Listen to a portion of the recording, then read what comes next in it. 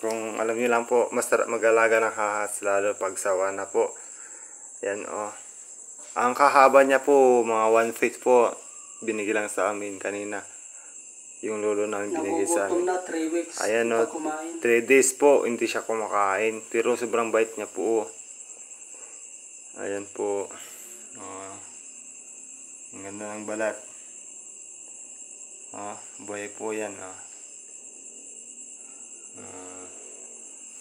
Daming ano, design sa balat niya po. Oh. Daming natatakot dito sa amin pero kami wala. At hindi siya po, kasi hindi po siya cobra. Talagang sawa. Mabait. Oh, yan po, oh. Diba guys, kung nakagat niya, nakagat na yung titi ng kasama ko.